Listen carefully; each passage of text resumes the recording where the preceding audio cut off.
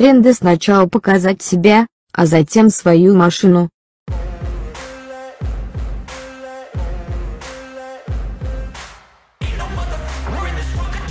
Какая прекрасная машина. Это японская или немецкая? Смешно. Берегите себя, будьте счастливы.